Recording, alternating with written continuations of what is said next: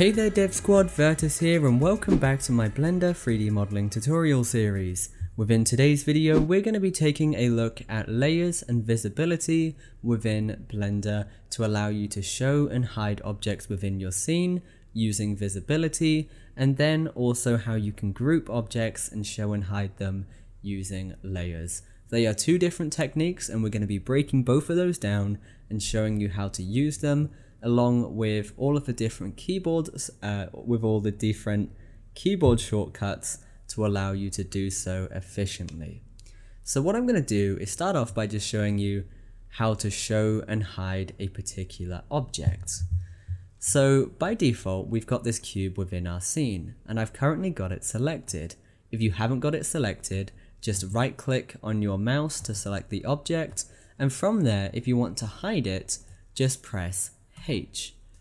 And what this is going to do is stop you being able to see it. However, the item has not been deleted. If I press Alt and H, it is going to bring it back. It is going to show you all of the items which you have got hidden. Now, in the case where you have two items in your scene, what I'm going to do is go to my Create tab, click anywhere with my left click to tell it where to go, and create another cube. If I wanted to hide both of these, so hold down shift and left, uh, shift and right click to select both of these and press H. If I was to press Alt and H, it's going to bring both of them back. If you don't want that, what you need to do to show and hide one particular item, what you need to do is simply go to the scene outliner in the top right now bear in mind, I've just made this a little bit bigger so it's easier for you to see. So what you can do is select a specific cube and then next to it, you've got a visibility icon in the shape of an eye. If I click this, it is going to toggle it. So if the eye icon is lit up, it is visible. If it's grayed out, it is not visible. So having said that, I can select a particular object and show and hide that. And if you want to hide an object, you can simply just right click it and press H. And press Alt H to show all items which are currently hidden. So that is pretty much everything for showing and hiding an object with simple visibility. It's really straightforward. H to hide it, Alt H to bring everything back, or if you want a little bit more control, you can just select a particular item in the scene outliner in the top right hand corner. So if you guys need to work with just a few objects, that method is going to be better. However, if you're working on groups of objects that you might want to hide or show, the best way to do that is going to be with layers. Now, by default, within Blender, you have access to 20 layers that you can work with.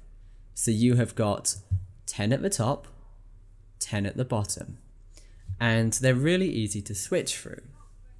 So by default, you are going to be in layer 1, and you can see this at the top.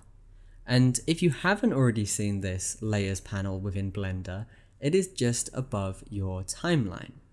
And with your layers, it starts off with 1, 2, 3, 4, 5, 6, 7, 8, 9, and 10. So you've got 10 at the top, 10 at the bottom. You can tell which layer you're in by the darker color. So you can see here, by default, if you haven't selected anything else, the first layer in the top left of your layers panel is going to be darker. That is telling you that that is the currently active layer. That is what is being shown on the screen. If I was to select the second layer, by simply clicking it, you are going to notice everything is going to go away. And the reason why it's disappearing is because the objects are on the first layer. Now, if you need to know which objects have items in them and which ones don't, you can tell really easily. So you'll notice that first layer in the top left hand corner there has got a dot in it. That is just telling us that there is items within that layer. If there is not a dot in it, that layer is going to be completely empty and you are not going to be able to see anything. If you select your item So if we select this cube here, you will notice that that layer, the dot within it is going to go orange. What that is telling us is that the active object is within that layer. So your selection is within that particular layer. So let's say you wanted to work on two layers at once. You can do this really, really easily by simply holding down shift and then pressing the second layer. If you want to work with three, keep holding down shift and you can add in as many layers as you want to show as many as you want. If you let go of shift and then just select one layer, it's going to go back to just showing you the one layer. And that's really easy. What you can also do to switch between your layers in addition to clicking them is just by typing the number on your keyboard. So within your number row at the top of your keyboard, not your number pad, you can press 1, 2, 3, 4, 5, 6, 7, 8, 9, and 0, and you'll notice that it's going to shift us through the first 10 layers at the top there. So we can just access these by pressing the number keys.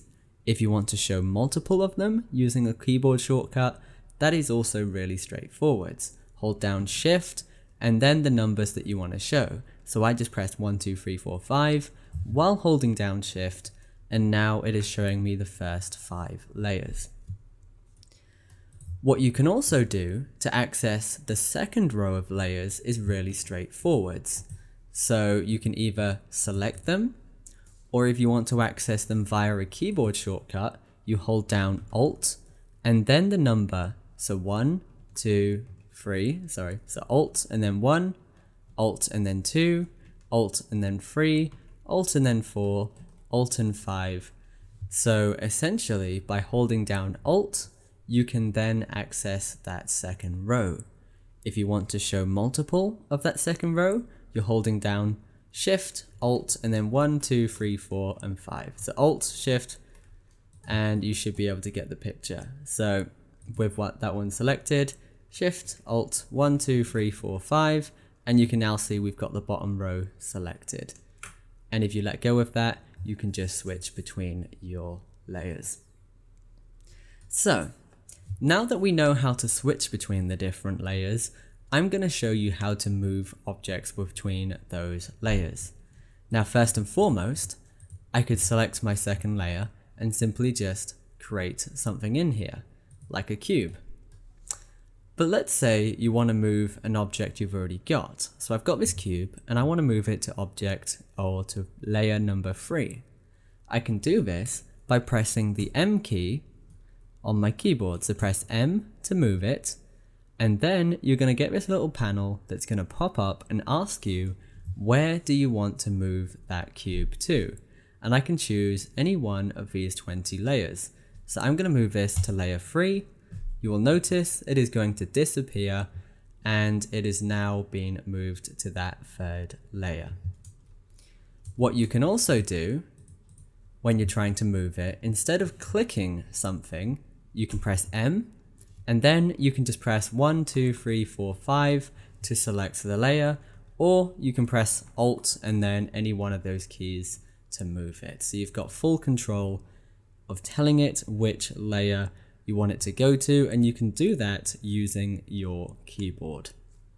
So hopefully you guys are a little bit more familiar with layers within Blender now, and you should be happy and comfortable with either moving them by hand or doing it with your keyboard shortcuts. What you should also be able to do is to switch between the layers really easily with the keyboard shortcuts for the first and the second row as well. Anyway guys, that is pretty much everything for today's video. Once again guys, thanks for watching, stay awesome, keep creating. Your boy Virtus, signing out. This video was made possible by my supporters on Patreon. If you want more videos like this, check out my Patreon page using the link in the description. To stay up to date on new releases, make sure you follow us on social media.